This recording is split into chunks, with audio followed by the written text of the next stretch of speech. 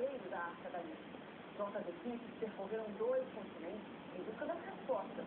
Nesta semana da Páscoa, o Jornal da Record exibe a série especial Mistério da Arca da Aliança. Um objeto sagrado,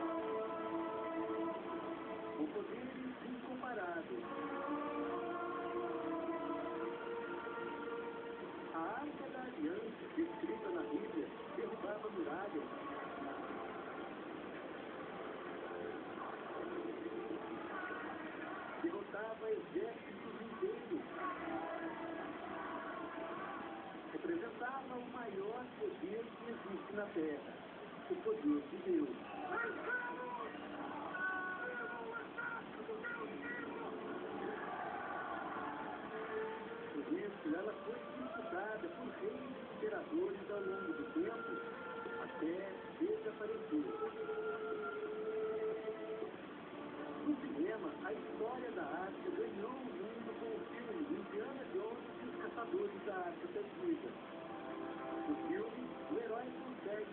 Consegue encontrar a relíquia. Na vida real, o paradeiro da Arca da Aliança ainda é um dos maiores mistérios da humanidade. Onde ela estará? Durante um mês, nossas equipes estiveram em dois continentes. Jerusalém, cidade sagrada para cristãos, judeus A Etiópia, no deserto africano.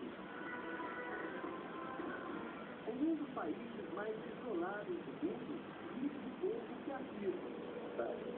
A Arca da Aliança está aqui, com os segredos protegidos por mais de dois milênios.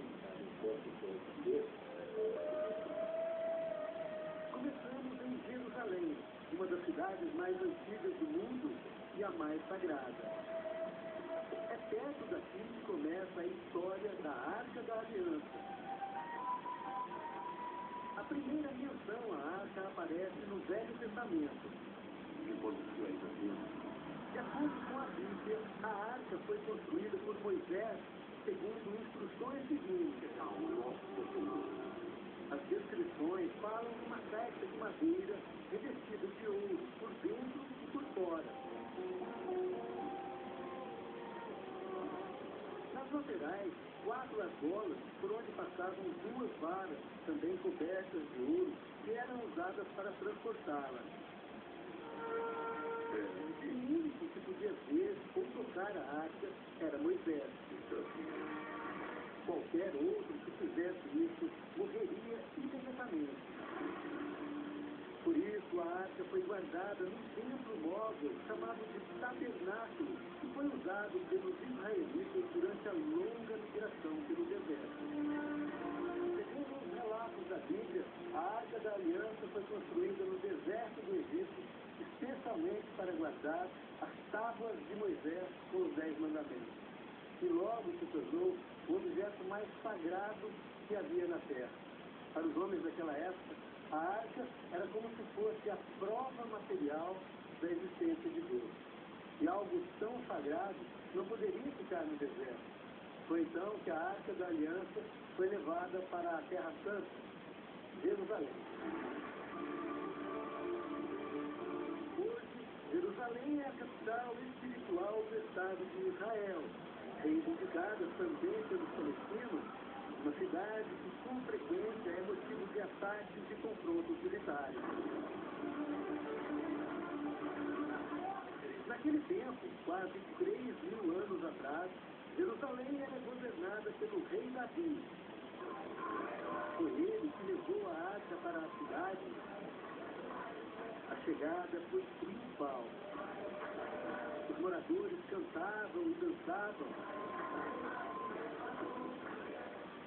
Para guardar a Arca da Aliança, o rei Davi construiu um novo tabernáculo em Jerusalém.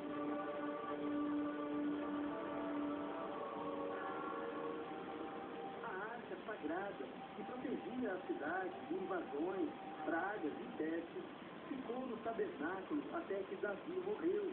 E o filho dele, Salomão, se tornou o novo rei de Jerusalém.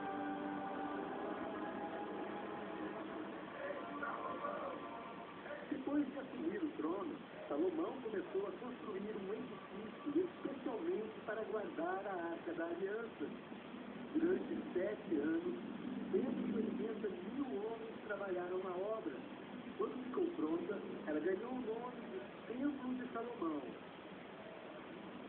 Durante séculos, apesar dos ataques a Jerusalém, a arca ficou ali, protegida no Templo de Salomão. O último registro documentado sobre a Arca da Aliança foi feito 2.600 anos atrás, quando essas muralhas caíram e Jerusalém foi conquistada pelo rei dos Babilônios, Nabucodonosor. Depois de saquear a cidade, os babilônios colocaram fogo em tudo, inclusive no templo de Salomão. E desde então, algumas perguntas não calam. O que teria acontecido com a Arca da Aliança onde estaria escondido esse tesouro sagrado. Ao longo do tempo, religiosos, arqueólogos e caçadores de tesouros buscaram alguma pista sobre a arca e nada foi encontrado. O historiador Yad Virano vê a arte como um símbolo que estimula a imaginação das pessoas. I look at feeling God is present ela é a mais estreita ligação de Deus com o povo.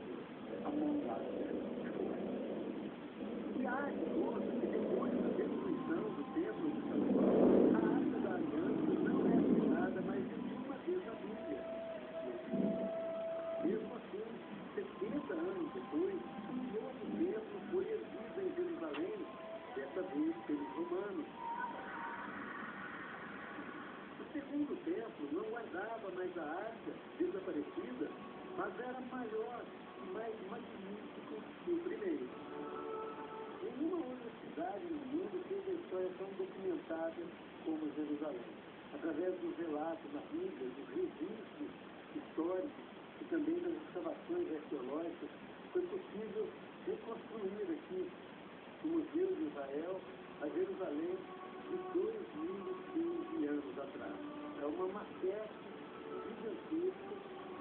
Olha, na época Jerusalém era fortaleza, cercada por muralhas, e todas as casas foram reconstituídas numa escala milhares de vezes menor, baseadas nos relatos históricos e relatos da Bíblia. Tem também muitos templos, mas o que mais destacava na cidade era o templo que construído por Herodes, exatamente no lugar onde existia o templo de Salomão. O segundo templo é citado na Bíblia nas visitas de Jesus.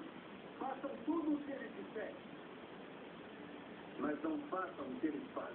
Assim como o primeiro também foi destruído pelos próprios romanos depois da batalha para conter uma revolta dos hebreus.